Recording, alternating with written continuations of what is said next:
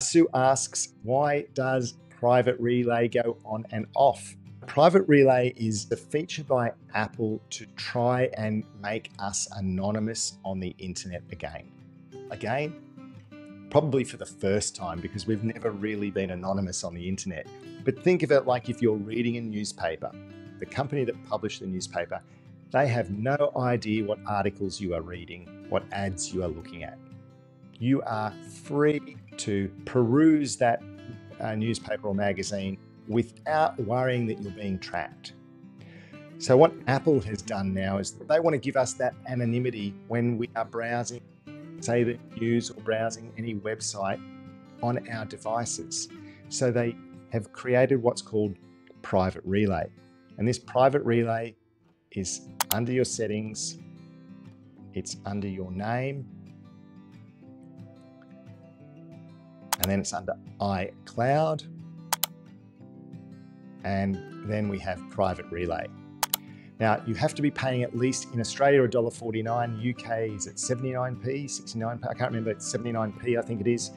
Uh, Canada's $1.29. You've got to be paying for iCloud to have the relay work for you.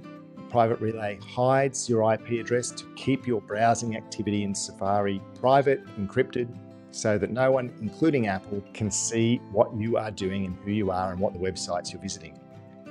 But there are some apps that need that private relay turned off. Like your bank needs to know who you are. You want to do a financial transaction, we need to see your IP address. We're not going to work if we can't identify who you are.